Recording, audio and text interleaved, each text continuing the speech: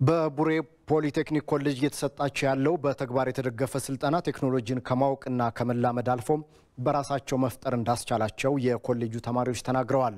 በተማሪዎቹ የሚሰሩ የፈጠራ ስራዎችም ለሕብረተሰቡ ጥቅም እንዲሰጡ ለማድረግ እየሰራ እንደሚገኝ ኮሌጁ አስታውቋል። ኤዶም አማረ ተጨማሪ አላት። ተማሪ ወንድም ቸኮል በቡሬ ፖሊቴክኒክ ኮሌጅ የደረጃ አምስት electricity ተማሪ ነው። ተማሪው ያለ ኤሌክትሪክና ፀሐይ ኃይል ራሱን በራሱ ቻርጅ በማድረግ የሚያበራ አምፖልና ስልክ ቻርጅ የሚያደርግ የፈጠራ ስራ አበርክቷል። የፈጠራ ውጤቱ በቀላሉ በአካባቢ በሚገኝ ቁሳቁስና 450 ብር በሚደርስ አነስተኛ ወጪ የተሰራ በመሆኑ የህብረተሰቡን የዕለት ተዕለት ችግር ለማቃለል የሚያስችል መሆኑን የፈጠራው ባለቤት ይገልጻል። ከዚህ በፊትም እንደዚህ ሰራ ነበር። አሁን light ነው six volt ማለት ነው። output ያላት ሀያ watt የምታመነጭ ማለት ነው። ሶላር ማትጠቀም ኤሌክትሪክ ማትጠቀም አነስተኛ ለገጠር የምታገለግል ለከተማም የምትሆን ቻርጅ ማድረጊያና የአምፖል ማብሪያ ማለት ነው። power ብዙ ጊዜ ያው ገጠር ላይ ያልተዳረሳለ ዋጋዋ በአነስተኛ እንትን ነው። አሁን ምን አለ መሰልህ ሶላሮች ከአንድ ሺህ ብር በላይ ናቸው።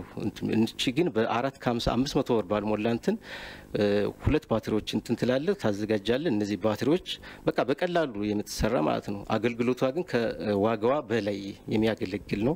የኮሌጁ መምህርና የስራ ፈጣሪ ተስፋ አንዱ አለም በበኩሉ በኤሌክትሪክና በነዳጅ የሚሰራ የመኖ መፍጫ ማሽን በማዘጋጀት የአካባቢውን ሕዝብ የእንስሳት መኖ አዘገጃጀት ለማዘመን እየሰራ መሆኑን ይገልጻል። የፈጠራ ውጤቱን አባስቶ በቡሬ የተቀናጀ አግሮ ኢንዱስትሪ ፓርክ በዘርፉ ለሚሰማሩ ባለሀብቶችና ለአካባቢው ማህበረሰብ በማቅረብ ምርታማነትን ለማሳደግ ድጋፍ እንደሚያደርግ የፈጠራ ባለቤቱ ይናገራል።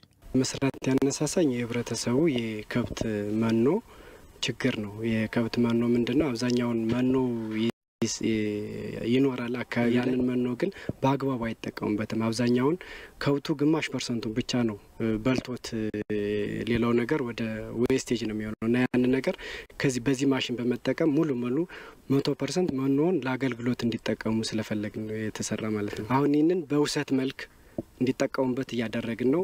ሲቀጥል ደግሞ ሌላ ቴክኖሎጂ ልክ ኢንተርፕራይዞች እንዲያመርቱላቸው ይህንን የሚመስል ወይም የተሻሻለ ኢንተርፕራይዞች እንዲያመርቱላቸው ድጋፍና ክትትል እያደረግን ያለ የቡሬ ፖሊቴክኒክ ኮሌጅ ዲን አስጨነቅ ካሳ ኮሌጁ በሰልጣኞች ተሰርተው የሚወጡ የፈጠራ ስራዎችን ለተደራጁ ማህበራትና አርሶ አደሮች በውሰት በመስጠት በሂደት በስፋት አባዝቶ ለማሰራጨት እየሰራ ይገኛል ብለዋል። እንደ ሀገርም እንደ ክልልም ቴክኖሎጂዎች ከተሸጋገሩ በኋላ ወደ ማህበረሰቡ አብዝቶ የማሸጋገሩ ላይ challenge ኦች አሉ።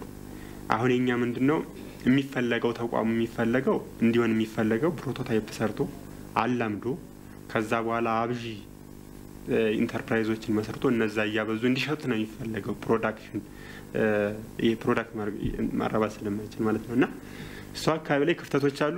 ግን እኛ እንደ ተቋም እንደ ኮሌጅ እየሰራናቸው ያሉ ስራዎች አንደኛውን ከሌሎች አጋር ድርጅቶች ጋር በመሆን በተለይ ለአርሶ አደሮች የሚያገለግሉትን እየተደራጁ የሚወስዱበትንና በነጻም እየሰጠን የተወሰነ የማላመድ ስራ ለመስራት የጀመርናቸው ስራዎች ዲኑ በኮሌጁ የተሰሩት የፈጠራ ውጤቶች በሚመለከተው ተቋም ተመዝነው ማረጋገጫ ያገኙና የአካባቢውን ሕዝብ የዕለት ተዕለት ችግር የሚያቃልሉ መሆናቸውን ተናግረዋል።